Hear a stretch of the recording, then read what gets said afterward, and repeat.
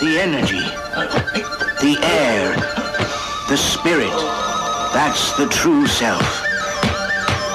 Now, if you follow these rules, then you'll become strong in both body and spirit.